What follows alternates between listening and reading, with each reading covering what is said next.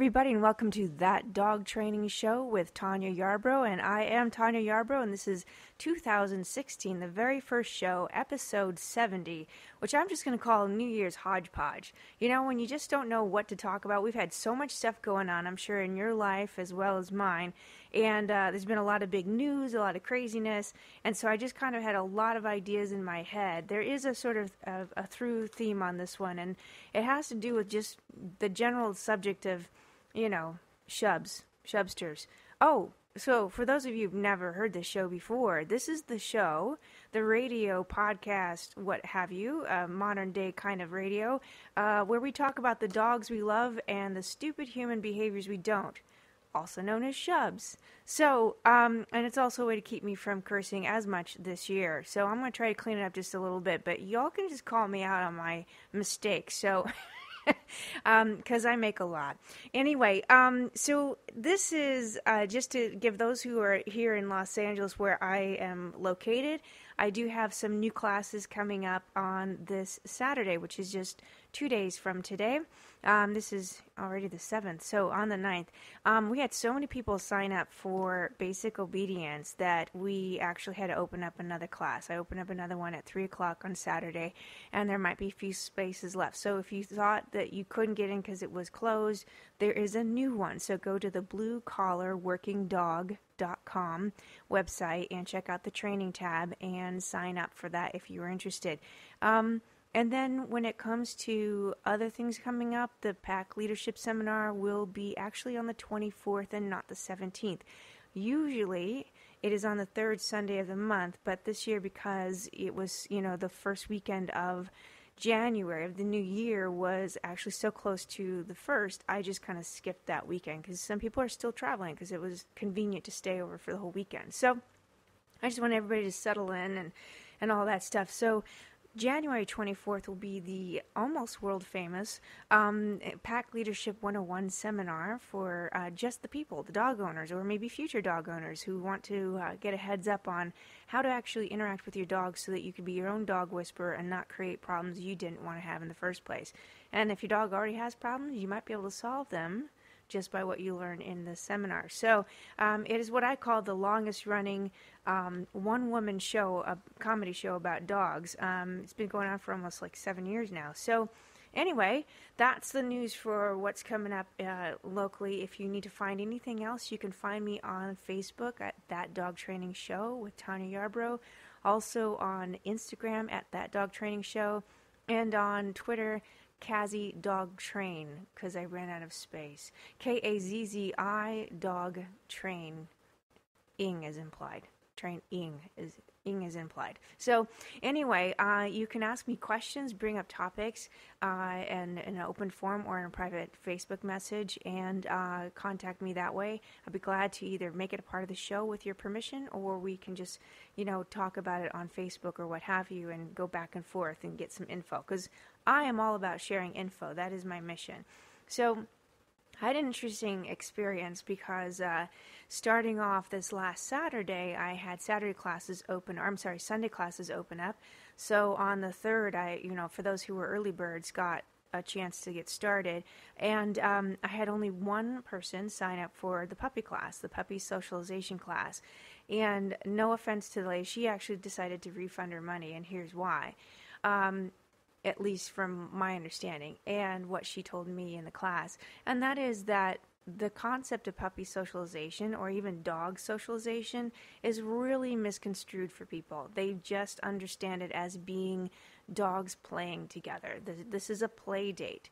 And the reality is is that that is not the whole of and not the main focus of socialization for dogs, puppy or adult and it's actually meant to act it's it's i suppose a better way to, to, to phrase socialization is teaching dogs to actually be desensitized to distractions to and to discover new textures and sounds and uh, so forth without fear.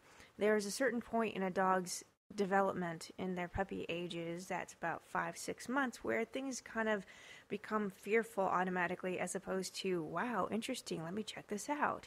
And so we want to take advantage of those like beginning months to actually t- teach the dog to check things out in a very safe way and also teach the owners how to deal with if the puppy does freak out or if your dog does freak out with a particular experience, how to handle it so it becomes a non freak out situation. That is actually what socialization is about. The play with other dogs is important, but it's about also teaching, most importantly, the, the, the humans what is proper play, what is improper play, when is it that your dog's kind of being an overexcited a hole about things. That's about as mean as I'm going to get on this show.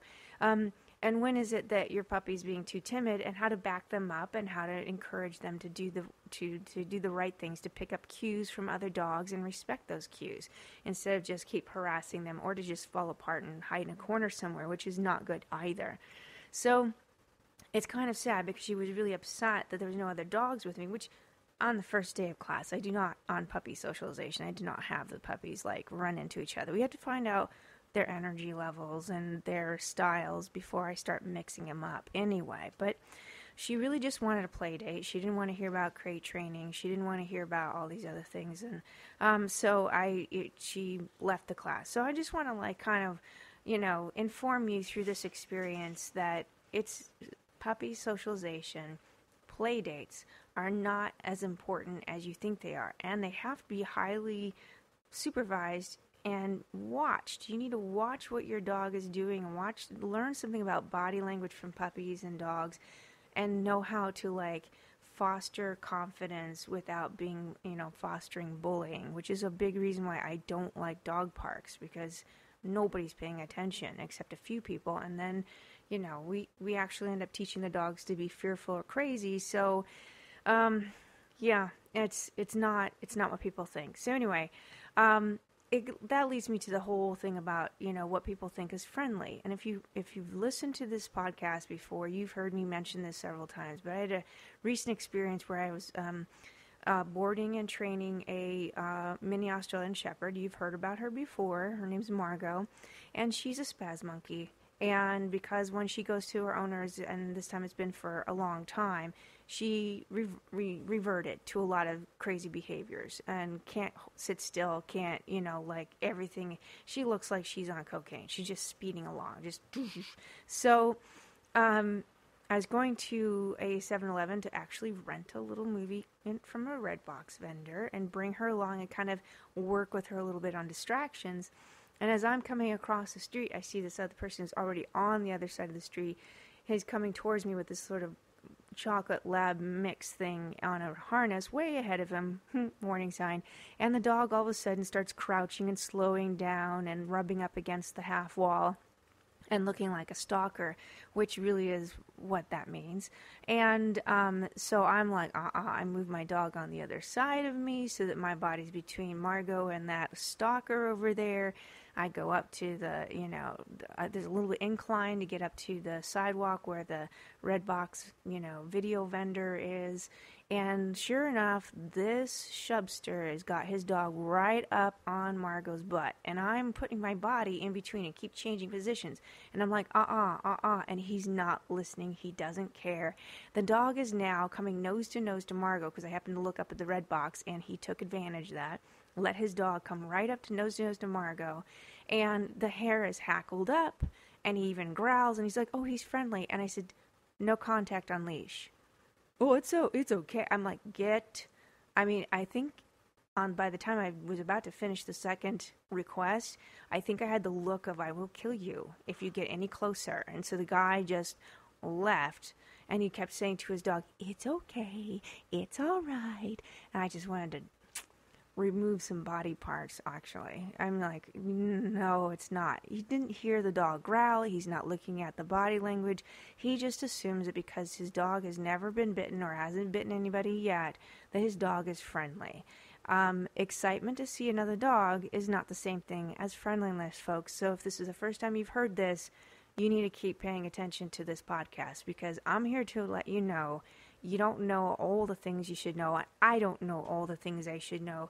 And this is a huge, huge problem. This leads to a lot of behavioral issues or, or actual injuries that could lead to your dog being put down because you thought that it was friendly. Uh, or you accepted that the other dog was friendly because the owner said so. And that is usually not true. It's kind of like if some, you know, ladies, you know this, if a guy asks you out and the first thing that comes out of his mouth is, I'm a really nice guy, that means get the hell away. That means get away. He's a serial killer. Don't don't fall, fall for that. If he had to say that, then he's advertising falsely and you need to get out. So if he is already a nice guy, it would not occur to him to say that. You all know, you ladies know, and guys who date other guys, you know too. So, and maybe you're looking for that kind of trouble, but I'm not going to talk about it. So anyway, the deal is, is that when it comes to someone saying their dog is friendly and the dog's language is anything but relaxed, get the hell away. That's it. And your dog knows this. Your dog knows better than you by the smell coming up the street that that dog is kind of going to lose their, you know, their turds right there. They're just going to lose it. So you need to pay attention to the body language and let your dog be clear if your dog's not responding well, even if the other dog is doing just fine and very relaxed, if your dog's not responding well, respect the body language of your dog and back them up and let them know you'll take care of the situation, even though it's not a big deal. All right.